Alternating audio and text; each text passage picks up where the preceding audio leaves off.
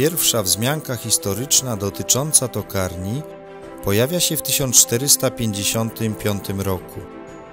Nazwa miejscowości pochodzi od słowa tokowisko, oznaczającego miejsce, gdzie odbywały się toki, czyli gody cietrzewi. Herb miejscowości przedstawia ptaka cietrzewia, trzymającego myśliwską trąbę, nawiązującą do herbu pierwszych właścicieli Jordan herbu trzy trąby.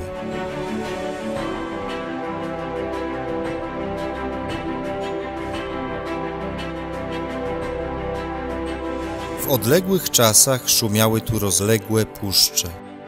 Przebiegał przez nie ważny handlowy szlak, zwany drogą polską. Zaludnienie lesistych połaci odbywało się powoli. Kamienista gleba zniechęcała osadników do kolonizacji. 700 lat temu, w XIV wieku, na terenie powiatu myślenickiego zaczyna się ożywiona akcja osadnicza. Pierwsi mieszkańcy tych terenów zajmowali się hodowlą bydła, bartnictwem, łowiectwem, wyrębem drzew i uprawą roli na wykarczowanych polanach. Według rejestru z 1581 roku tokarnia liczyła 12 zagrodników z rolą, 6 komorników z bydłem, 5 bez bydła i jednego tracza.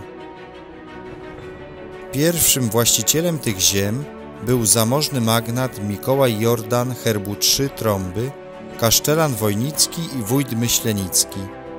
Następcą jego był jego syn Wawrzyniec Spytek Jordan. Człowiek niezwykle wykształcony, miłośnik sztuki, fundator licznych kościołów w okolicy. Drewnianą kaplicę w tokarni około 1570 roku zbudował właśnie Wawrzyniec Spytek Jordan lub wdowa po nim Anna Jordan z Sieniawskich. Wawrzyniec Spytek Jordan zmarł w 1568 roku, nie pozostawiając męskiego potomka.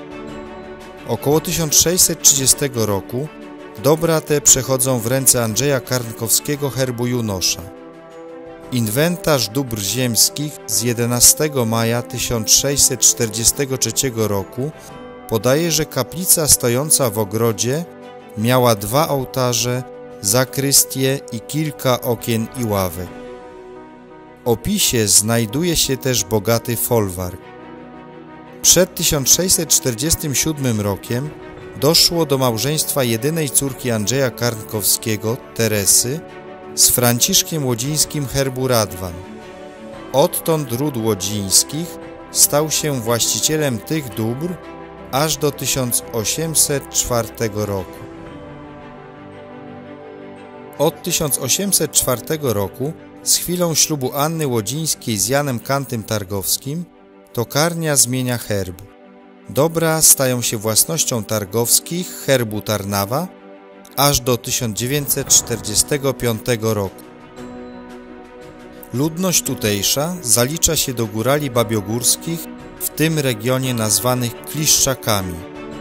W latach 1624, 1652, 1701 szaleją w tej okolicy zarazy, a najstraszniejsza miała miejsce w 1847 roku po rzezi galicyjskiej, spotęgowana głodem.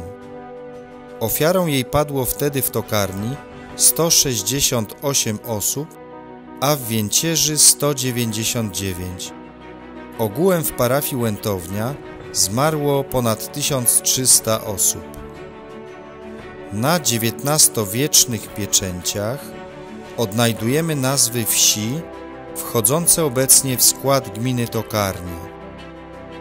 Wieś Bogdanówka, Skomielna Czarna, Więciurka, Więcierza, Zawadka, Krzczonów, Tokarnia.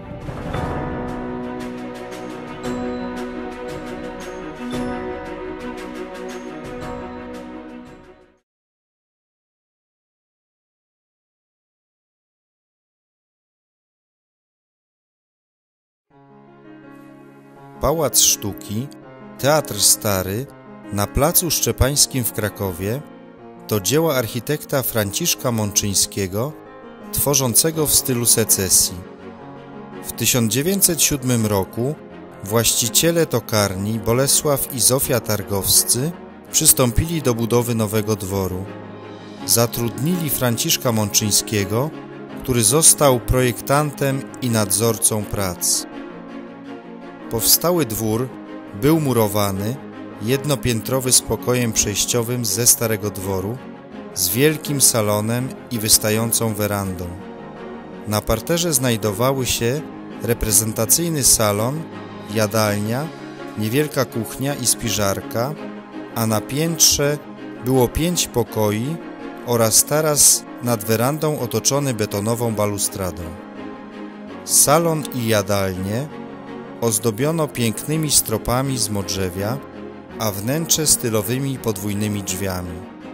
W wejściowym skrzydle do dzisiaj widnieje witraż herbowy przedstawiający herb Tarnawa.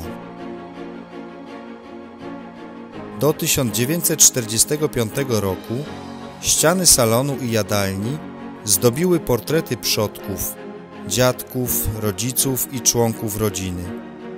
Czasie II wojny światowej dwór został kilka razy obrabowany i zdewastowany. Po wojnie założono tutaj początkowo lazaret dla rannych żołnierzy, a następnie dom dziecka dla powojennych sierot. W 1952 roku przeniesiono tu szkołę podstawową, która w dworze mieściła się do 1971 roku. Stary dwór był modrzewiowy.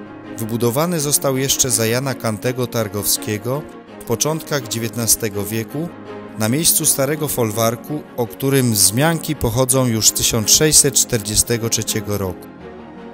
Budynek był parterowy, z gankiem na froncie, z sienią przedzieloną na dwie części, przednią i tylną i prostym rozłożeniem na sześć pomieszczeń po dwóch stronach. W latach 30. XX wieku na prośbę ostatniej dziedziczki Marii drewniany dwór został otynkowany. W koło dworu rozciągał się park z małym stawem oraz kaplica dworska. Drewniane zabudowania gospodarcze i stajnie mieściły się na zachód od dworu w stronę Więcierzy. Na starych ocalałych dokumentach odnajdujemy podpisy właścicieli tokarni. Najstarszy jest z 1810 roku. Widnieje na nim podpis Jana Kantego Targowskiego. Z 1914 roku pochodzi podpis Bolesława Targowskiego, a na dokumencie z 1937 Mieczysława Targowskiego, ostatniego dziedzica. Niestety nie zachował się żaden dokument podpisany przez syna Jana Kantego Erasma Targowskiego. We wrześniu 1939 roku ostatni właściciel dworu, porucznik Mieczysław Targowski, wyruszył na swoją już trzecią wojnę w życiu. Podzielił los tysięcy polskich oficerów jeńców obozów jenieckich w Rosji Zginął na wiosnę 1940 roku, zamordowany przez stalinowskie NKWD. Do dzisiaj dwór w tokarni tętni życiem. Znajduje się tutaj samorządowe przedszkole, a wschodnią część dworu użytkuje Gminny Ośrodek Kultury i Sportu w Tokarni. Tokarnia i okolica zawdzięcza bardzo wiele swoim przodkom i właścicielom, dzięki którym posiada wspaniałe dziedzictwo kulturalne i duchowe.